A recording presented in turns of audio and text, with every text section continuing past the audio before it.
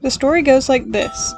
The soul god of Fern Helion and the lunar god of Lacus Mare rallied together to tame the six wild gods, each taking three under their wing and turning our world of chaos into one of peace. That's probably the story you've heard, right? That story is nothing more than a fairy tale. They wanted to control the world in its entirety, just the two of them. They didn't have the power to destroy the other gods, though, or to steal their powers, so they sealed them away. The third of the sealed gods was the god of art and the god of sciences, Philip Arabella.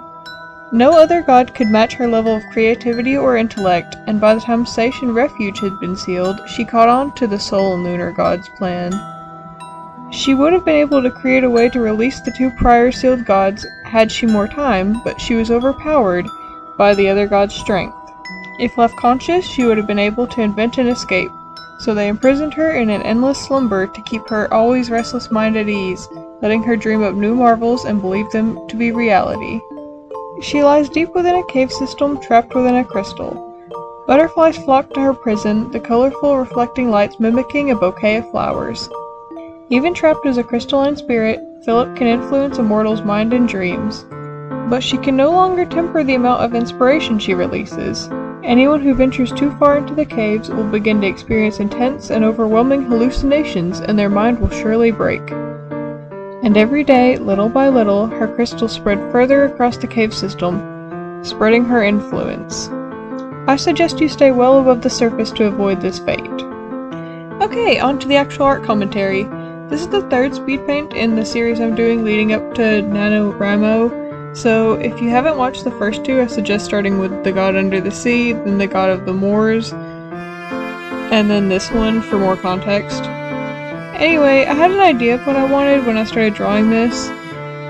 Um, I wanted to have like a dark, desaturated cave scene with the most bright, colorful crystals as the focal point.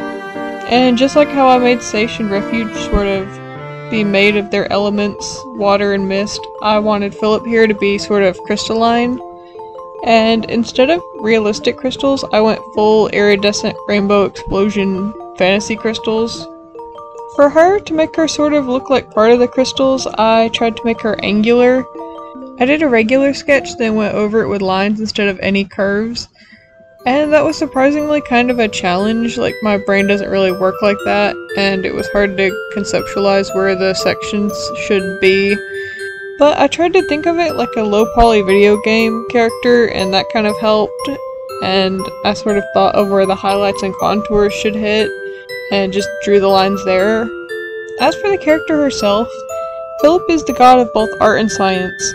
Those two things work really well together and both require a level of open-mindedness, creativity, and curiosity. And like I said with the other two gods, none of them are good or evil, they just are. Obviously, art and science bring a lot of good and beauty into the world, but also, I don't think I have to explain the dark side of either. They can absolutely be used for evil as well. Her animal she's associated with isn't just butterflies, it's any kind of insect.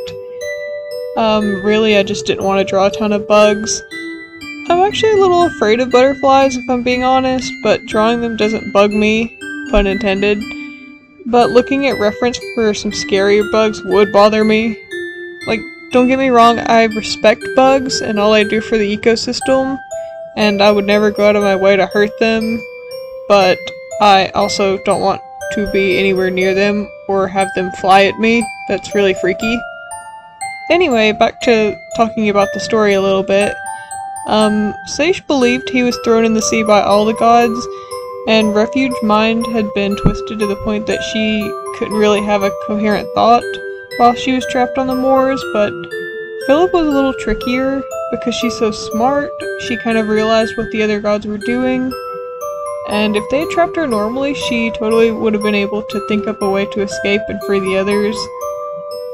But she's trapped in her own dreams where she probably believes that she resolved the conflict and everything is fine and she's helping mortals make new inventions and art.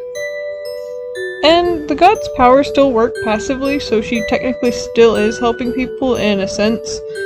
But any unfortunate adventures that come anywhere near her are having their brains melted, like metaphorically, before they can even see why. So, pretty much every area the gods are sealed at ends up being considered kind of cursed because of things like this. The people of this world believe all the gods to be fine and under the care of the two main gods if they were able to somehow reach her without having a seizure or going comatose from the levels of like divine inspiration she's pouring out. They probably wouldn't even be able to recognize who or what she is in the first place because in their mind um the gods are safe in their own realm and wouldn't be on Earth in some random cave. If the series has you at all interested, feel free to stick around and subscribe. I'm going to be putting out more speed paints and info from here until NaNoWriMo in November. That's pretty much all I have to say about this one. Thanks for watching, and I hope you enjoy!